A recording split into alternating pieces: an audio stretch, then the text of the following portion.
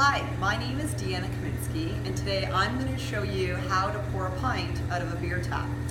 So the first thing you want to look for is a clean glass. And that may seem obvious, but if you ever go to a bar or restaurant and see that your bubbles are sticking to your glass in one specific area, they'll tell you that there's been some residue on one spot of your glass. So make sure that it's a clean glass. The next thing you want to do is make sure that you are pouring your beer from the bottom of your tap handle. Don't grab from the top. Make sure that your glass never actually touches the tap itself here.